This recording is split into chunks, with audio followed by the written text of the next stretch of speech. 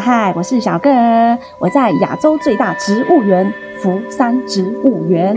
过了管制站之后啊，我们不要急着进入园区，先来到我们的自然中心这边看一下简报，认识一下福山植物园一年四季的环境。我们进入了植物园区喽。第一件事情呢，是要先听志工讲解园区的注意事项，那我们才能进入。走吧。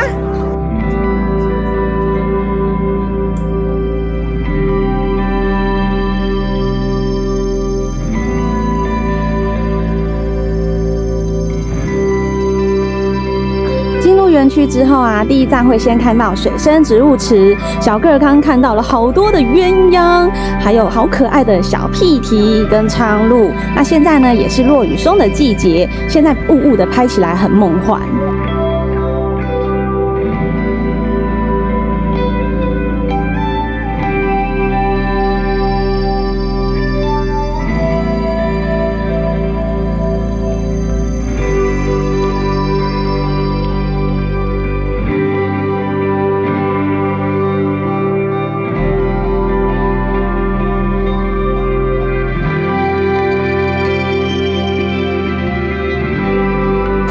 展示区的末端有一座桥，这里是哈恒溪。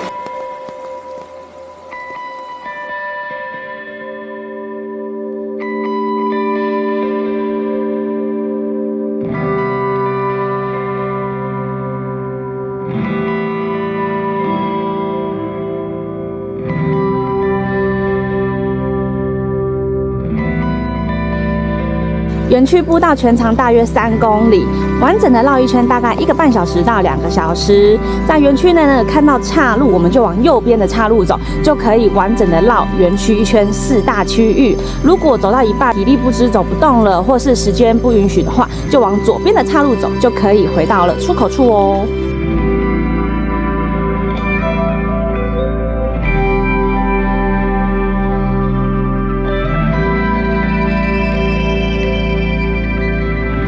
在园区内可以看到很多台湾的原生植物都被保留的相当完整，然后啊，野生动物在这边都是自由的活动。只可惜今天下着雨，目前呢只看到了蓝腹鹇，还有三枪。那其他的，待会看看有没有机会看到它们。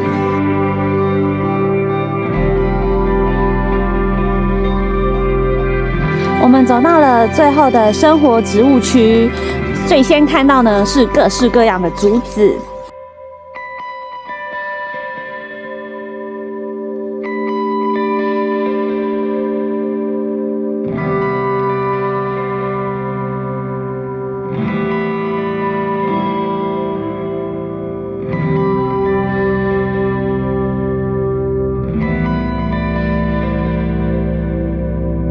这一片呢是动物运动场，平常啊在这里应该是可以看到山猪啊、山羌啊，还有穿山甲等等动物。只是呢今天下雨，所以运动会停止举办。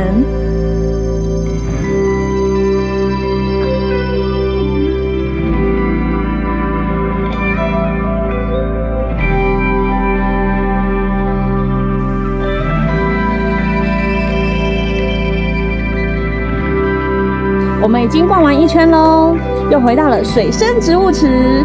福山植物园呢是不收门票的哦，不过它有限定名额，平日是五百人，假日是六百人。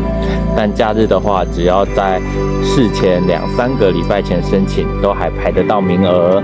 入园记得要携带身份证。那我们的福山植物园就玩到这里喽，拜拜。